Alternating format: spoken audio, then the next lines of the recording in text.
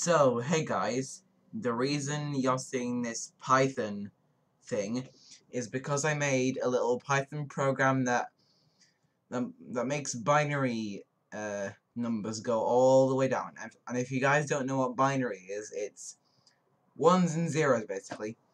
And I'll show you guys how I did it. So I wrote while true at the top, and then put a colon and then it automatically indents, and indent is this little space, and you have to write import random, import time, and then you have to write print, and then open bracket, random dot randint, uh, open bracket 0, comma 1, close bracket, and then just do it 8 times.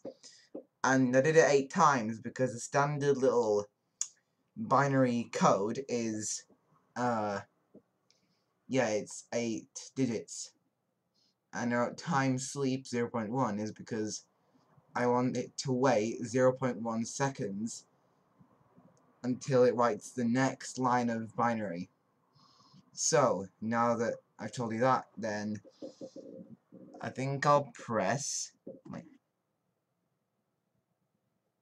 Wait, where is it to? Anyway, uh, yeah. I'll press F5, which which opens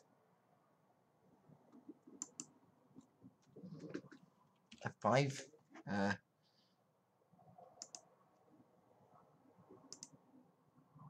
why it two open? Yeah, uh, F5. There. So now, it's making binary numbers go all the way down. Why can't, why can't I drag this up further? There we go. Drag this up as high as I can. Now in fact, I'll do this.